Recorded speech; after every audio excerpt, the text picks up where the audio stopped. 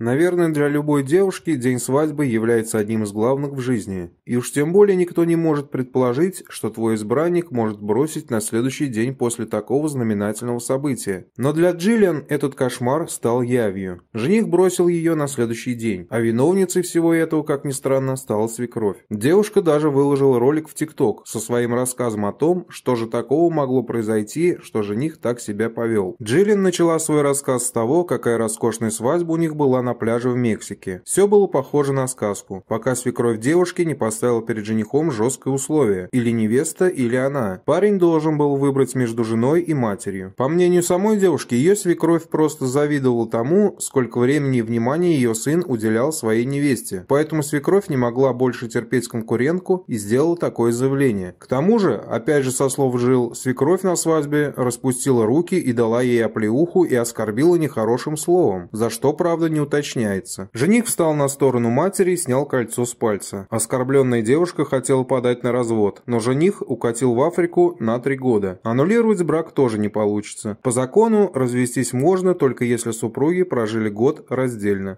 Woo!